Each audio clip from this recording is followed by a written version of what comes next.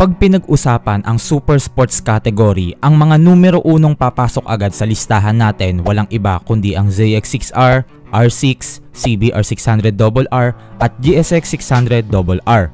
Kung mapapansin nyo, pinaghaharian ng mga Japanese ang division na to dahil saksi tayo kung gaano kalakas at kapatok sa market ang mga motor nila. Dumating pa nga sa point na kahit mga old version nito eh tinatangkilik pa rin sa ngayon at hindi basta-basta bumababa ang value. Sample na lang sa R6. Pero alam nyo ba na may alam akong European na motor na minsan nang tinapatan ang super sports ng mga Hapones? Masasabi ko na eto na siguro ang well-balanced na 600cc sports bike pagdating sa comfort, timbang at power. Mamaya malalaman nyo kung bakit ko nasabi yon. Huwag na tayong magpaligoy-ligoy pa. Tara, ating pag-usapan ang Triumph Daytona 675R dahil I'm sure na manghihinayang kayo kapag nalaman nyo ang dahilan kung bakit na discontinued ang motor na to sa kabila ng pagkakaroon nito ng magandang specs. Kaya stay tuned lang. Pero bago tayo magsimula, shoutout muna kila Binmar, Andrew Basanta, Raiden Miguel, Felix Del Carmen, Raymark Gorembelem, Dong Kagamkam, at Alpi Matabalaw. I hope na lagi kayong nasa mabuting kalagayan.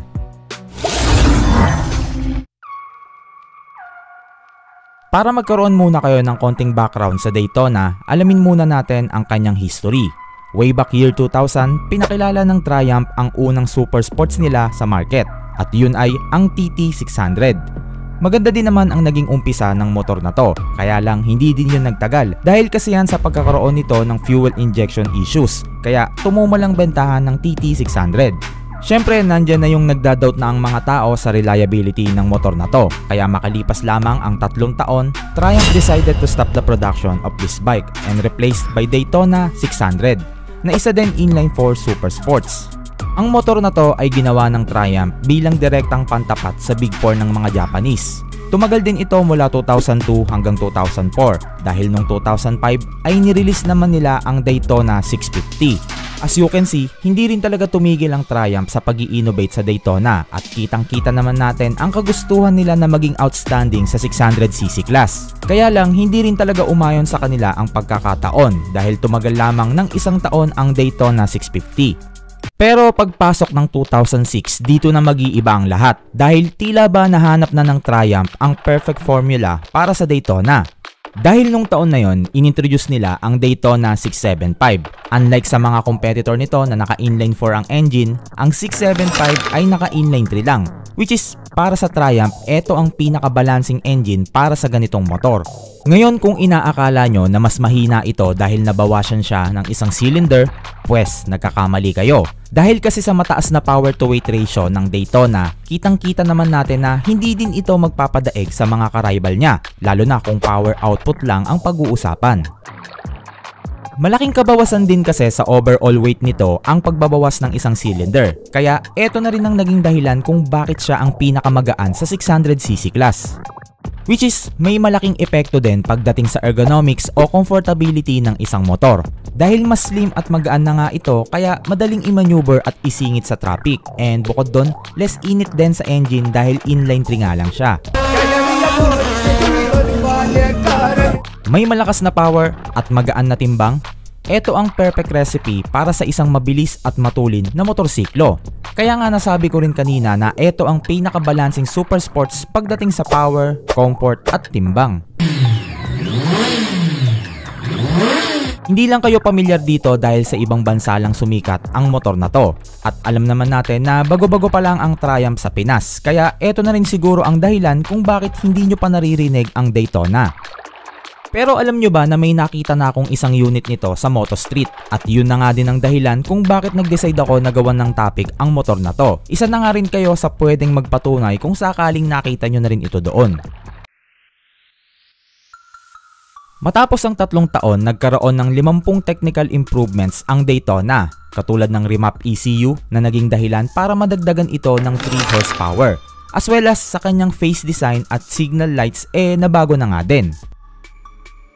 Sa 2010 model naman, nagkaroon ng revision sa kanyang instrumental panel. Mas naging moderno na nga ang kanyang disenyo, pero hindi naman nabago ang overall looks nito compare sa 2009 model. And also sa taon na to din nilabas ang special edition version na kung saan ang color scheme nito ay pearl white, adjustable na rin ang kanyang levers at carbon na rin ang kanyang infill panels. Sa 2011 naman, dito na nirelease ang R version. Same engine pa rin galing sa mga una, pero this time naka-Brembo na ang kanyang calipers, naka-Ohlins na ang kanyang suspension, at meron na rin siyang quick shifter. Sa mga kahan naman nito, nadagdagan pa ito ng mga carbon katulad ng tapalodo sa unahan, tire hugger sa likod, exhaust cap, heat shield at cockpit infill. Sa 2013 model naman, mas lalong nadagdagan ang top speed nito dahil mas lalong pinalaki na ang mga bore at mas pinaiksi naman ang stroke ng engine nito. Bukod dyan, mas lalong lumiit, gumaan at kumipot ang chassis nito dahil dyan tumitimbang na lamang siya ng 167 kg. May mga nagsasabi na para ka daw naka 400cc na motor dahil sa kanyang slim bodyworks. Mas pinalaki na rin ang kanyang airbox, bago na rin ang kanyang swing arm, naka-sleeper clutch na rin, at mas magaan na ang mga mags nito. And also with ABS na rin ang kanyang mga preno. Nadagdagan na nga rin ito ng fuel gauge at nakamount na rin sa gilid ang kanyang exhaust, unlike sa previous model na naka-undertail. Sa 2014 model naman, hindi na nga naging optional ang sleeper clutch, ABS at quick shifter nito dahil ginawa na nga nilang standard ito sa Daytona. Mula 2006 hanggang 2014, mapapansin nyo na regular naman na ina-upgrade at dinadagdagan ng magagandang pyesa ang Daytona. Kaya mapapaisip ka talaga kung ano ba talaga ang naging problema sa motor na to. Dahil wala naman ako nakikitang mali eh upang maging dahilan para i-discontinued ito ng Triumph. Well, mula 2014 hanggang 2017 kasi, unti-unti na ngang nawawala sa spotlight ang motor na to. Kaya noong 2018, nag-decide na sila na itigil na ang 675R. Kaya the million dollar question is, ano ba talaga ang dahilan kung bakit kahit sa kabila ng pagkakaroon nito ng magandang specs, eh hininto pa rin ng Triumph ang pagpaproduce sa motor na to? The main reason is poor sales. As I mentioned before sa mga previous vlog ko, madaming dahilan kung bakit humina ang bentahan ng mga 600cc Super Sports, not only sa Daytona pati na rin sa mga kanyang karibal. Nandyan yung mas pinahigpit na emission sa ibang bansa, nandyan yung mas marami ng ibang practical na option na pwedeng pagpilian, maraming dahilan eh. Pero in my own opinion, isa lang ang nakikita kong dahilan. Yun ay ang mataas nito na presyo. Sa $14,000 kasi nito na halaga, hindi na nalalayo ang price nito sa mga superbikes. Kaya mahihirapan ka talaga na piliin ang motor na to lalo na nahigit na mas mura ang mga karibal niya katulad ng R6 at ZX6R unless marami ka talagang pera at Triumph enthusiast ka. Kaya nga kahit gaano pa kaganda ang isang motor kung hindi din naman reasonable ang presyo nito ay baliwala din.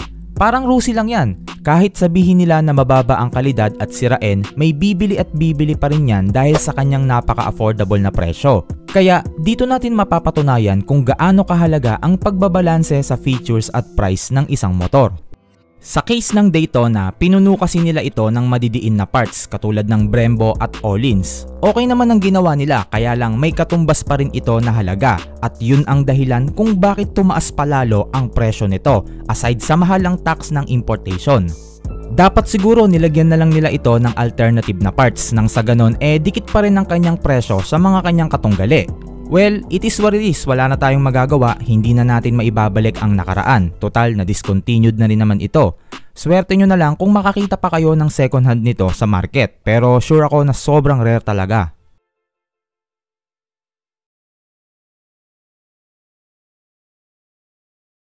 Thank you for watching. I hope nagustuhan nyo ang hinanda kong video patungkol sa Daytona 675R. Kung sakaling bago ka pa lang, make sure na i-hit ang like at subscribe button dahil napakalaking tulong na sa akin yan.